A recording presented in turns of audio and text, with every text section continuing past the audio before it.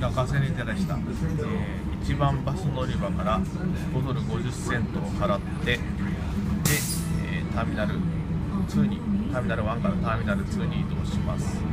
乗り継ぎチケットを持ってないと5ドル50セント取られます。